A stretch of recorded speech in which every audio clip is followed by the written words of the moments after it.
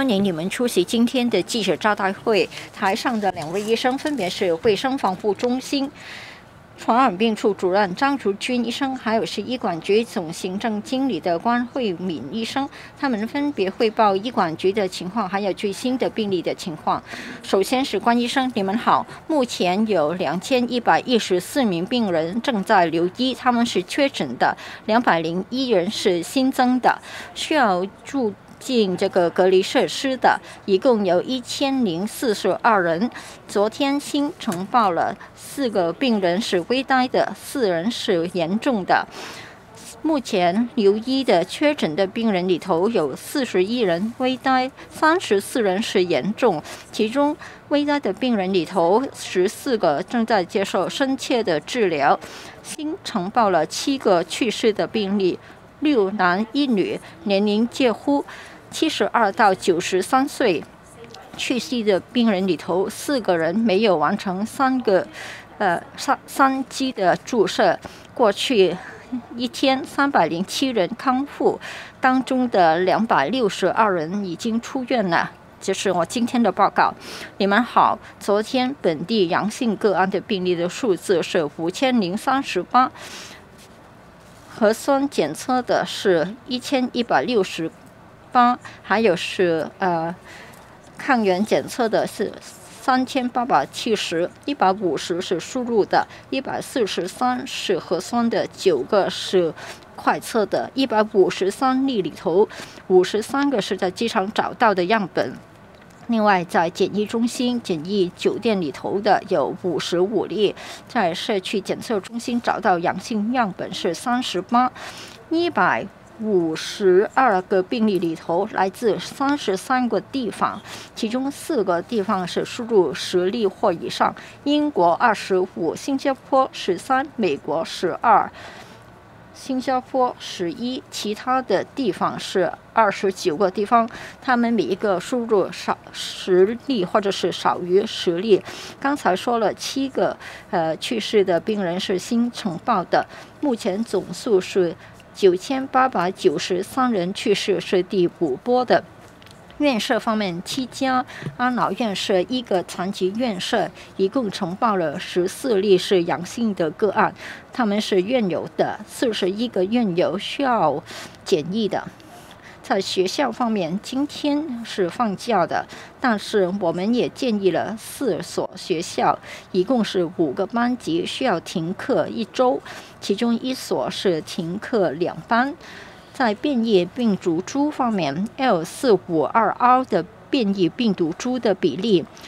现在是八十六点九个八分点乘以社区的比例，那么大概是 BA. 点五是百分之八十点二，BA. 点四是百分之六点七，BA. 点二点一二点一是百分之三点二，BA. 点二点二是百分之九点九。这是我今天的报告。现在是提问的时间，请举手。我们把麦克风交给你，请先说明你们的传媒的机构。中间的穿白衣的女士，两位医生，你们好，我是无线电视的。首先想了解一下，从明天开始，这个疫情的记者招待会是呃结束了。那么两位医生有没有什么感受可以跟我们分享一下？在什么的情况之下才会再开这个记者招待会？例如说，这个疫情的水平，从第一波到第四波，哈，只是在本地零确诊才是停止不举行的。但目前我们还有本地的感染的病例，是不是不再清零？那么，呃，始终我们看这个新闻稿，跟在记者招待会上称。而听到你们亲口解释是不同的，而且零加三的措施，下一个星期一早上六点就开始了。但是有一个航班是从嗯是。早上两点多就是呃降落的，那么它是按这个零加三还是呃三加四的呃安排，而且孔孔繁毅教授说：“如果我们就是达到某一个水平，就可以把这个放宽到这个零加零。那么你们的看法是怎样？”谢谢您的问题。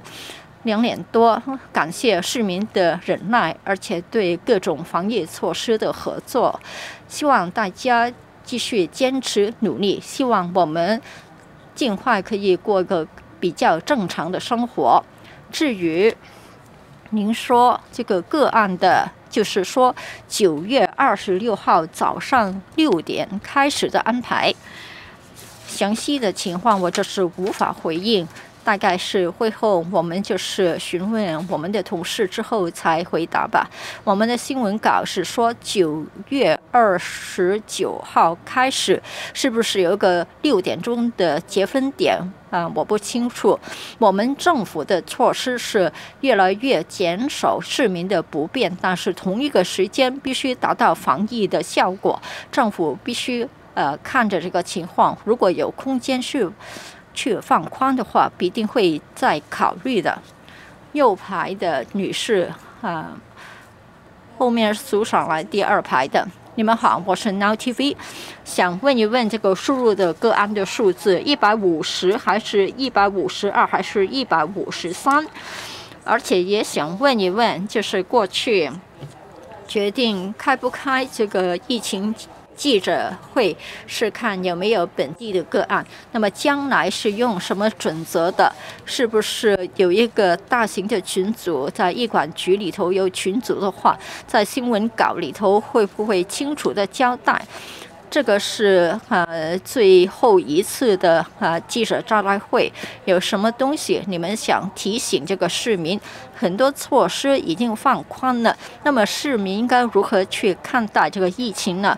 而且学校方面有一家学校就是有两个班就是停课，是哪一家学校？大概是多少人？而且有没有关联？先说这个学校的情况，这个是元朗。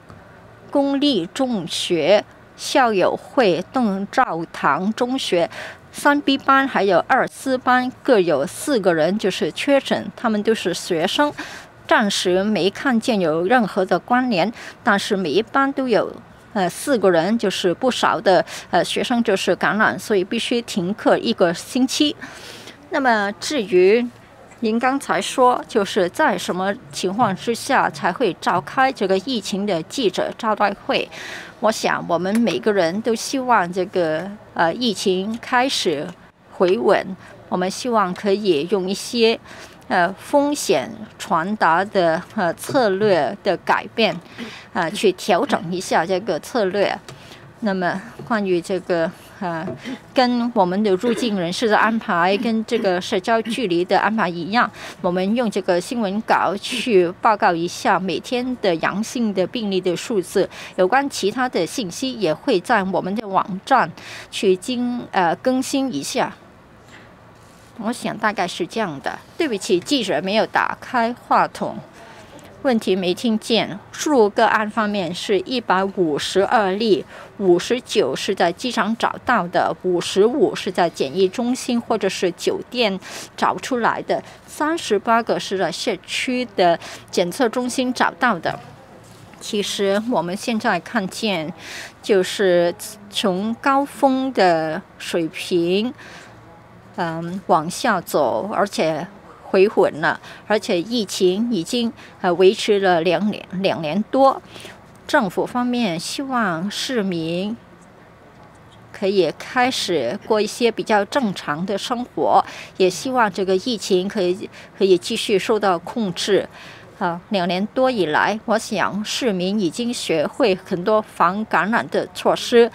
戴口罩、洗手等等，这个都是很有用的，可以避免感染的一些措施。这个并不是全部全部，但是是基基本的措施。我们可以看见在社区里头，呃，因此很多上呼吸道的感染，无论是流感还是小朋友的个案，还是其他的传染病也减少了。你们可以看见这个措施是可以减少这个传播的。当然，其他的防疫的措施，比如说，呃，感染了、确诊了，必须呈报、必须隔离，而且遵守政府的一些防疫措施也是应当的。嗰边啊，最後講。上一位最后一排的男士。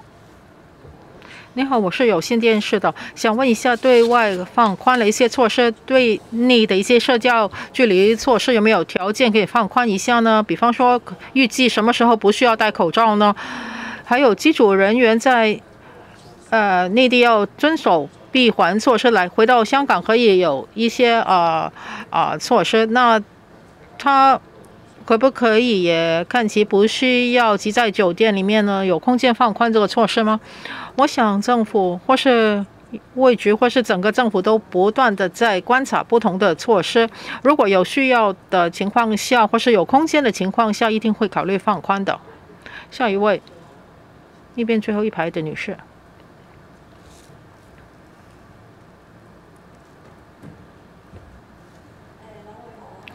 两位好，我是香港零一的。首先想问一下，昨天医管局说有调整死亡个案的统计，增加了一百五十三宗。想问一下，为什么会错呢？是用什么方法啊发现的？之后怎么可以避免这个错误呢？第二个问题想问一下，有专家说新冠肺炎可能会成为风土病，你们怎么评价这个说法呢？香港的疫情是否之后会完结呢？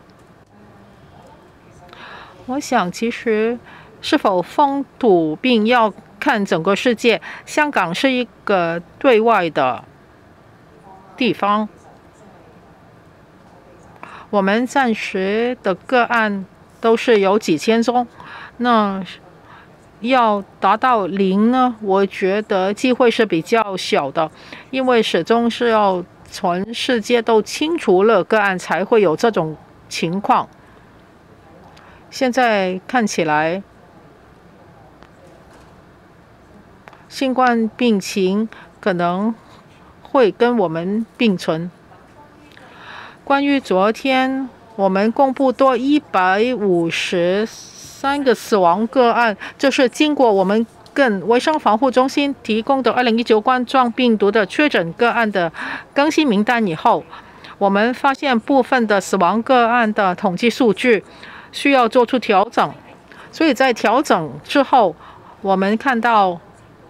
医管局呈报的死亡个案统计当中多了一百五十三个个案，大家都理解，在初期，在二月到四月，死亡的个案是高峰期，而这些个案也是在那段时间发生的。当然，那个时候确诊的情况或是那些个案多了，所以死亡个案也多。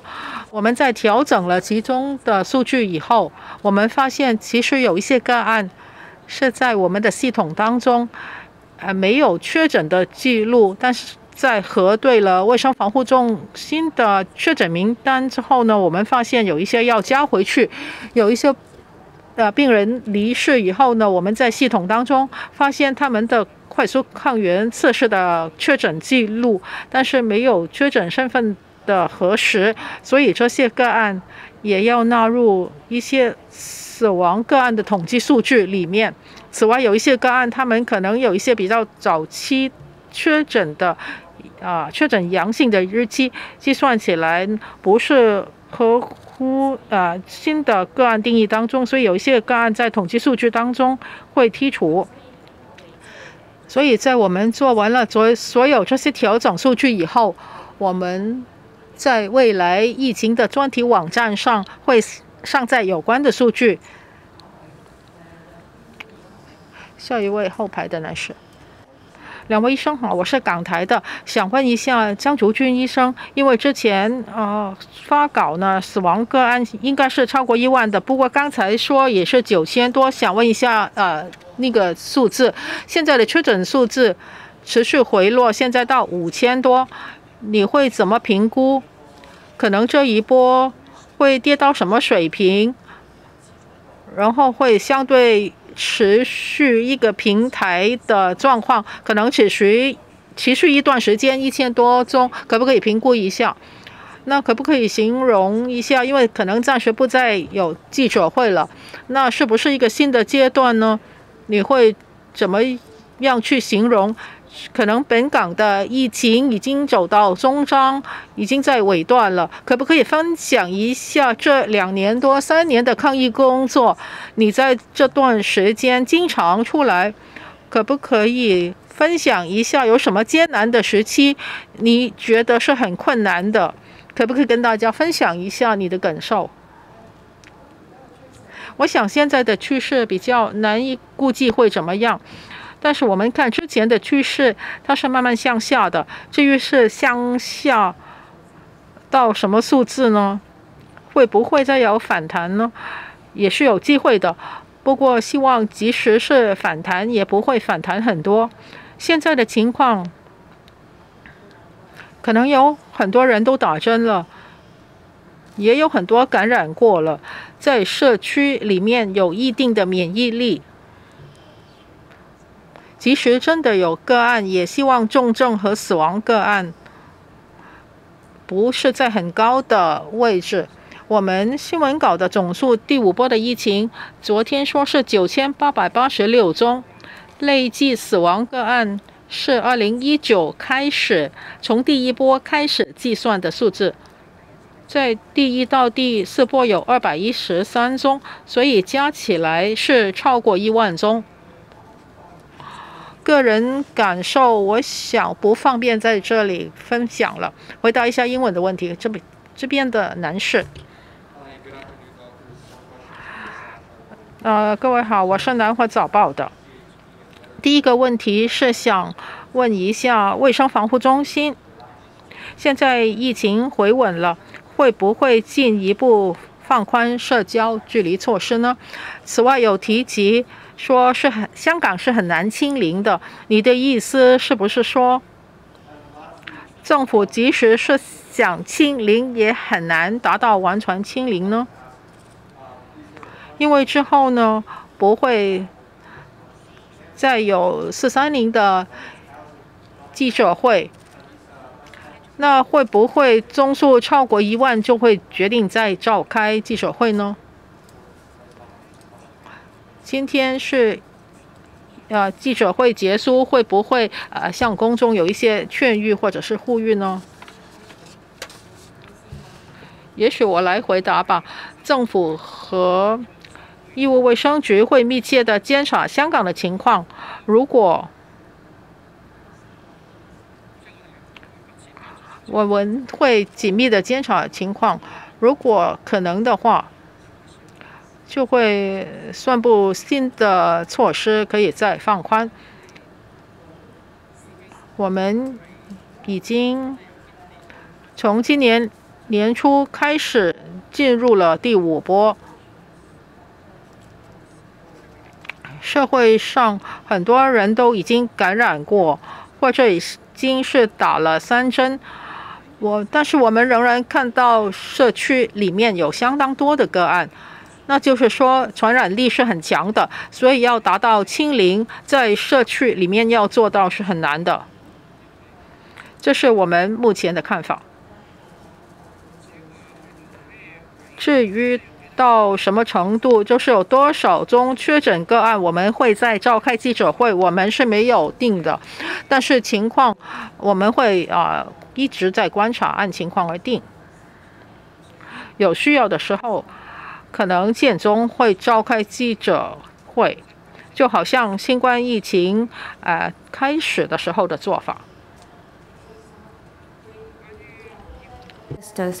医管局方面嘛。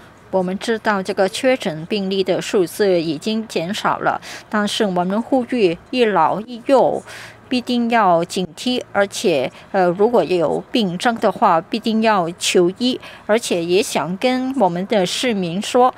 我们的社区的设施还是营运当中的，比如说这个指定的诊所，还有就是有序的呃治疗，还有就是送药，还有就是这个热线电话，这个服务还是继续的。我们选想确保就是市民在这个艰难的时候还是得到我们的服务，如果有需要的话，还是可以呃接受到我们的医疗的服务。所以我们的医疗系统就是透过这个方法去减轻我们的压力，而且我们也会就是恢复我们的医院的服务，比如说我们的门诊的服务，呃。有一些也会恢复以前的水平，而且也在准备，就是一些急诊的服务，还是是日间的服务也会恢复。同时，我们还是会呃照顾呃非新冠的病人的，呃，这个是我们希望得到的。我也想请，就是各位，就是保持你们的个人的卫生的习惯，就是戴口罩、洗手，而且遵守政府的防疫的措施，就是目前的啊防控的措施，这个是政府呃请大家遵守的防控的措施。下位呃最后一排的女士，明报的。数个案的数字，有多少人是四到七天？有多少人是七天之后才阳性的？还有就是调整这个死亡个案方面，就是呃，医管局没有这个呃信息，是不是有些人在街上就是晕倒，身上没有这个身份的啊信息，所以就是呃不清楚。还有就是死于这个新冠，还是死的时候有新冠，呃，这个分类有吗？嗯，另外就是防护中心也说，就是有些社交距离的措施可以放宽。那么你们估计就是如果放宽的话，哪一些措施可以先放宽，而且有哪些条件符合了才可以放宽呢？我想我没有说就是可以放宽这个社交距离措施，我是说就是政府在密切留意这个疫情，在可行的情况之下，在嗯这样的情况之下，才有可能就是放宽这个措施。那么输入的个案里头，第一到七天在社区中心找到的是三十二例，第八到十天是六例。刚才您提到的情况，就是比如说有一个病人来到我们的医疗系统，比如说这个急诊室，但是已经去世了，但是他早前已经进过一个呃快测或或者是呃核酸的检测，有些时候我们不一定能够掌握所有的信息的。那么死亡的个案是死于这个新冠，还是死的时候有新冠？我们还在检视有关的病例，也许就是目前不是个恰当的时候去做一个结论。下一位，右排呃最远的一位女士，最后一个问题，你们好，我是大公报的，呃张医生，两年多差不多每天主持这个记者招待会。哪一个呃时候是，嗯最困难的时候？是不是最后的一个，呃呃疫情记者招待会？呃，我说不适合，就是分享个人的感受。希望这个是最后一次的记者招待会，也祝大家身体健康，生活愉快。记者会结束，谢谢。